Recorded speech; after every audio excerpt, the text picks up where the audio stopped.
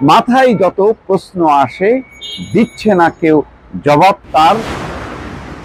দর্শক, বুঝতে পারছি না, ছাত্রলীগের নেতাদের কি হলো? ঢাকা বিশ্ববিদ্যালয় থেকে শুরু করে বিভিন্ন শিক্ষা প্রতিষ্ঠানে তারা যে কর্মকাণ্ডগুলো করছে, সবগুলি হচ্ছে রাজনীতি বিবর্জিত এবং স্রেফ মাস্তানি চাঁদাবাজি। কয়েকটি ঘটনা খুব মানে অল্প কয়েকদিনের মধ্যে এসছে।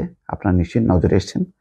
আমি জানি না এই ব্যাপারে এখন এই মুহূর্তে আসলে আওয়ামী লীগ হয়তো তাদেরকে কোনো ডিস্টার্ব করবে না।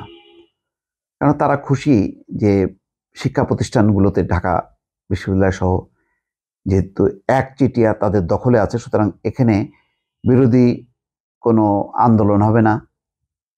তাদেরকে দমানো যাবে। এতে হয়তো তারা রাজনৈতিক সুবিধাটা নিচ্ছে। কিন্তু যারা এই কাজটি করছে, তারা আসলে ওই রাজত্বটা রাজনৈতিকভাবে করছে না। তারা এটাকে রীতিমতো ব্যবসা, বাণিজ্য, চাঁদাবাজি, যত রকম অপকর্ম আছে, সবগুলো করছে। আমি প্রথমে একটি উদাহরণ দিই। আজকেই প্রকাশ হয়েছে, ছাত্রলীগ নেতার হুমকি, আনন্দবাজারে ব্যবসা করে আপনি কত বড় কুতুব হয়েছেন দেখব ভাই। এই শিরোনামে একটি খবর। দেখেন, ছাত্রলীগ নেতা ইমদাদুল হাসান সোহাগ। খবরে বলা হচ্ছে যে চাঁদার জন্য তলব করার পর যেতে রাজি না হয় ছাত্রলীগ নেতার বিরুদ্ধে, প্রথমে ফোনে হুমকি ধামকি দেওয়া, পরে লোক পাঠিয়ে ভাঙচুর চালানোর অভিযোগ করেছেন পানি ব্যবসায়ী। এই ইমদা, সোহাগ হচ্ছে ঢাকা বিশ্ববিদ্যালয়ের অমর একুশে হল শাখা ছাত্রলীগের সাধারণ সম্পাদক।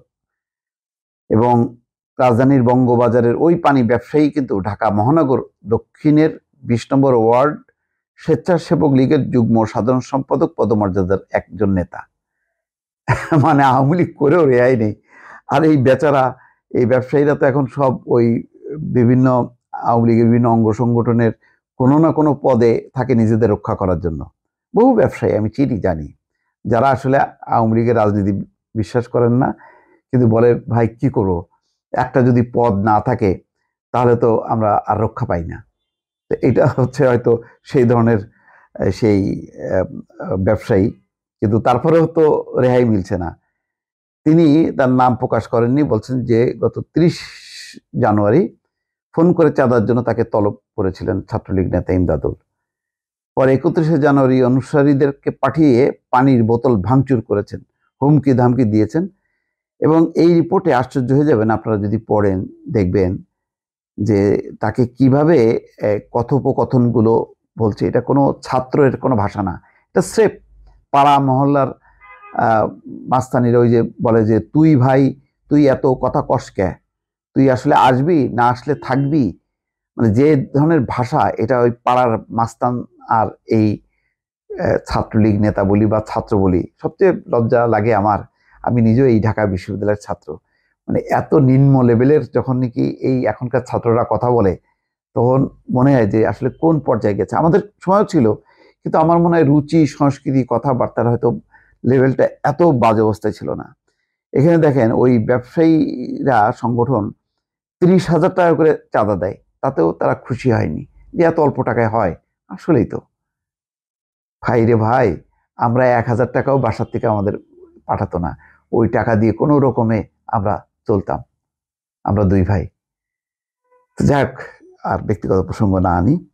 তো এই হচ্ছে অবস্থা। তো এখানে যথারীতি ওই ছাত্রলীগের সাধারণ সম্পাদক সাদ্দামকে যখন নাকি বলা হয়েছে, তখন বলেছে হ্যাঁ আমরা তদন্ত করব, তদন্ত সাপেক্ষে ব্যবস্থা নেব। আসলে কিছুই জানেন না ওনারা।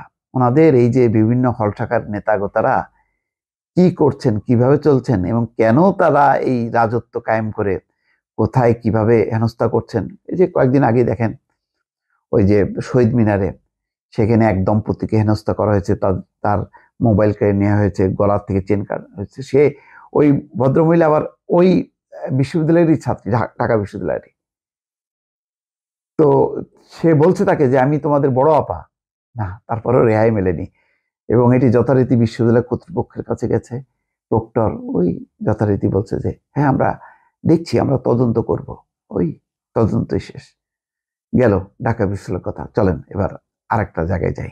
এই যে বললাম যে তারা রাজত্ব চালাচ্ছে এবং বিরোধী কোনো দল মতকে যে টিকতে দিচ্ছে না, তার একটি, আরেকটি প্রমাণ হলো যে এই তিন তারিখের রিপোর্ট, শিরোনাম হচ্ছে ঢাকা বিশ্ববিদ্যালয় থেকে ছাত্র পরিষদের কর্মীকে তুলে নিয়ে নির্যাতন ছাত্রলীগের। এখানে দেখেন কি বলা হচ্ছে? ঢাকা বিশ্ববিদ্যালয়ের কার্জন হল এলাকা থেকে ছাত্র অধিকার পরিষদের কর্মী তারেক রেজাকে তুলে নিয়ে জিজ্ঞাসাবাদ, মারধর ও নির্যাতনের অভিযোগ উঠেছে ডক্টর মোহাম্মদ শহীদুল্লাহ হল ছাত্রলীগের নেতাকর্মীদের বিরুদ্ধে। পরে বিষয়টি জানাজানি হলে তাকে ছেড়ে দেওয়া হয়। বৃহস্পতিবার রাত সাড়ে নটার দিকে এই ঘটনা ঘটে। পরে সাড়ে দশটার দিকে তাকে ছেড়ে দেওয়া হয়। তাকে গণস্বাস্থ্য হাসপাতালে নিয়ে যাওয়া হয়। এই বিষয়ে ছাত্র অধিকার পরিষদের সিনিয়র সহসভাপতি তরিকুল ইসলাম অভিযোগ করেন, তাকে কিছুক্ষণ আগে ছেড়ে দেওয়া হয়েছে, তাকে স্ট্যাম্প দিয়ে মারা হয়েছে গোপনাঙ্গে আঘাত করা হয়েছে, আমরা এখন তাকে গণস্বাস্থ্য হাসপাতালে নিয়ে যাচ্ছি। এটা কি টিএসসিতে কাওয়ালি উৎসবে হামলার প্রতিবাদে আমরা কেন্দ্রীয় শহীদ মিনারে তাৎক্ষণিক প্রতিবাদ বিক্ষোভ করি? এরপর বিক্ষোভ শেষে কার্জন হলের দিকে নিয়ে যাওয়ার সময় তাকে তুলে নিয়ে যায় তারা। এরপর তাকে আটক রেখে আমার গিয়ে তাদের নিয়ে আসতে বলা হয়। পরে আমরা প্রশাসন এবং গণমাধ্যমকে জানাই। তো এই যথারীতি যখনই আবার ইয়ে ছাত্রলীগের সাধারণ সম্পাদক শরীফ আহমেদ বলেন যে, আমরা অবগত ছিলাম না, শুনে আমরা যাই, পরে ছেড়ে দেওয়া হয়। তাকে জিজ্ঞাসাবাদ করা হয়েছে, তাকে মারধর করা হয়নি। অস্বীকার। প্রক্টরকে, কে আমরা বিষয়টি অবহিত করেছি, বিষয়টি জানামাত্র খোঁজ নিয়েছি। মানে এইটা হলো মানে বিশ্ববিদ্যালয় প্রশাসনও নির্বিকার অথবা অসহায় আর ছাত্রলীগের নেতাদেরকে হ্যাঁ আমরা তদন্ত করছি, দেখছি। তারপর ওই দেখাই সার। তৃতীয় যে ঘটনাটি আপনাদেরকে বলব, সেটা হচ্ছে কুমিল্লা বিশ্ববিদ্যালয়। সেখানে ছাত্রলীগের হাতে সহকারী প্রক্টর লাঞ্ছিত। এই খবরটি দেখুন, ওই কুমিল্লা বিশ্ববিদ্যালয়ের বঙ্গবন্ধু শেখ মুজিবুর রহমান হল ছাত- ছাত্র হলে দায়িত্ব পালনের সময় ছাত্রলীগের নেতা কর্মীদের হাতে লাঞ্ছিত হয়েছেন এক সহকারী প্রক্টর। সোমবার রাত নয়টায় বঙ্গবন্ধু হলে এই ঘটনা ঘটে। ঘটনার ভিডিও ফুটেজ দেখে প্রক্টোরিয়াল বডি এই বিষয়ে বিশ্ববিদ্যালয়ের উপাচার্যের কাছে মঙ্গলবার প্রাথমিক প্রতিবেদন জমা দিয়েছে। লাঞ্ছনার শিকার সহকারী প্রক্টরের নাম অমিত দত্ত। তিনি বিশ্ববিদ্যালয়ের নৃবিজ্ঞান বিভাগের প্রভাষক। বিশ্ববিদ্যালয় সূত্রে জানা যায়, নৃবিজ্ঞান বিভাগের স্নাতকোত্তর শিক্ষার্থী আমিনুর বিশ্বাস বঙ্গবন্ধু হলের আবাসিক শিক্ষার্থী। কয়েক মাস আগে তাকে হল থেকে বের করে দেয় ছাত্রলীগ। তিনি মুক্তিযুদ্ধ মঞ্চ কুমিল্লা বিশ্ববিদ্যালয় শাখার সভাপতিও। তারপরও তাকে বের করে দেওয়া হয়েছে। সন্ধ্যার পর আমিনুর আবার হলে উঠতে যান। এই সময় ছাত্রলীগের নেতাকর্মীরা তাকে হলে উঠতে বাধা দেন। এই নিয়ে দুই পক্ষের মধ্যে বাগবিতণ্ডা হয়। খবর পেয়ে প্রক্টোরিয়াল বডির লোকজন হলে উপস্থিত হন। বিষয়টি মীমাংসার চেষ্টা করেন হল প্রাধ্যক্ষ মোকাদ্দেস উল ইসলাম ও প্রক্টোরিয়াল বডির সদস্যরা। এই সময় ঘটনাস্থলে উপস্থিত শহীদ ধীরেন্দ্রনাথ হল শাখা ছাত্রলীগের সাধারণ সম্পাদক, এনায়তুল্লাহ নেতৃত্বে ছাত্রলীগের একদল নেতা কর্মী তারা সেখানে গিয়ে হইচই শুরু করেন। তখন সহকারী প্রক্টর অমিত দত্ত তাদের শান্ত হওয়ার অনুরোধ করেন। এক পর্যায়ে এনায়তুল্লাহর নেতৃত্বে কয়েকজন তার দিকে তেড়ে যান এবং লাঞ্ছিত করেন। তো এই হলো ব্যাপার এবং এইসব ঘটনা ঘটছে। কুমিল্লা বিশ্ববিদ্যালয় এটা নতুন ঘটনা, এর আগেও ঘটেছে। কিন্তু ওই যে বললাম একচেটিয়া রাজত্ব।